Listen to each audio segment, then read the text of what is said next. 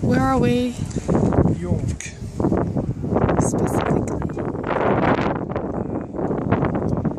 Minster. What's special about this Minster? Uh, it's the second largest in the UK. I think it is the largest. Maybe.